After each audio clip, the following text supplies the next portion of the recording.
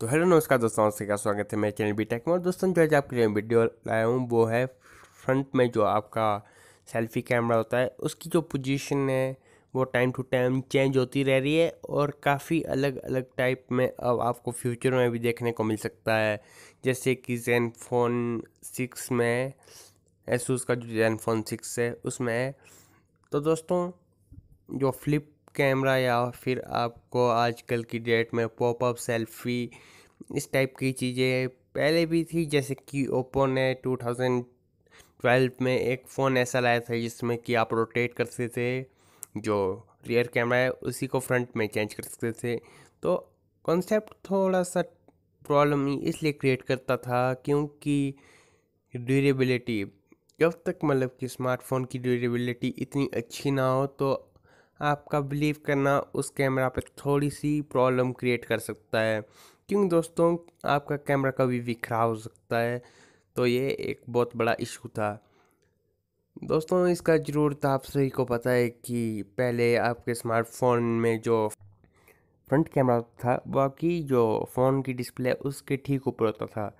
तो दोस्तों, अब तो आजकल की डेट में आपको 18 रेशो नाइन और उसके बाद फुल स्क्रीन का आजकल आया है, जो मतलब कि हर एक जो स्मार्टफ़ोन कंपनी से वो आपको फुल स्क्रीन देना चाहती है। क्योंकि दोस्तों, इससे जो स्मार्टफ़ोन ने काफ़ी प्रीमियम लगता है तो सबसे बड़ा इशू ये आ रहा है कि जो फ्रंट में सेल्फी कैमरा है, उसको कहाँ पर पोजिशन दी जाए।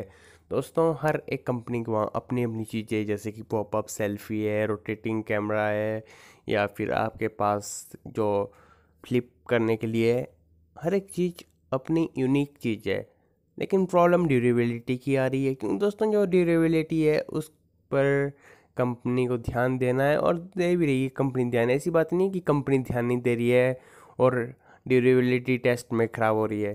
क्योंकि दोस्तों, अभी मैंने एक वीडियो देखी जिसमें कि वन प्लस ने अपने ऑफिशियल चैनल में वीडियो डाली थी कि उन्होंने ट्वेल्व बारह घंटे मतलब कि अपने जो कैमरा है, उनका जो पॉपअप कैमरा है, उसको टेस्ट किया।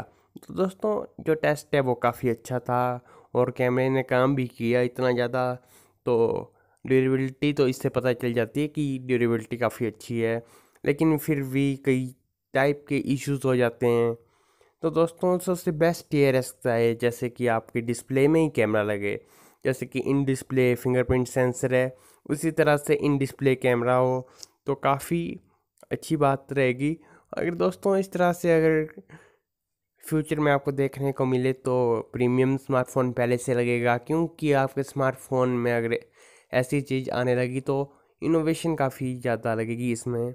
और जो स्टार्टिंग में प्राइस भी काफ़ी ज़्यादा हो सकता है। लेकिन दोस्तों, इसके लिए सबसे बड़ी प्रॉब्लम ये आ जाती है। जैसे कि आप सही जानते हो कि स्मार्टफ़ोन की डिस्प्लेस काफ़ी कमज़ोर होते हैं। अगर मान लो कभी भी डिस्प्ले क्रैक हो गई या फिर डिस्प्ले टूट गई तो सबसे ज़्यादा इशू इसी चीज़ का आएगा कि आपकी जो डिस्प्ले है उसको जोड़ने का खर्चा प्लस आपकी जो कैमरा है उसके सेंसर को टेस्ट करना पड़ेगा और जो आपके फिंगरप्रिंट सेंसर को है उसको टेस्ट करना पड़ेगा। तो दोस्तों यही चीज़ें है कि जो स्मार्टफ़ोन के जो फ्रंट कैमरा की पोजीशनिंग अभी तक कभी भी ठीक नहीं रह पा रही है। वरना कंपनीज़ जैसे कि जो इनोवेशन करती है, वो आपको कब का जो डिस्प्ले में ही आपको कैमरा दे देता।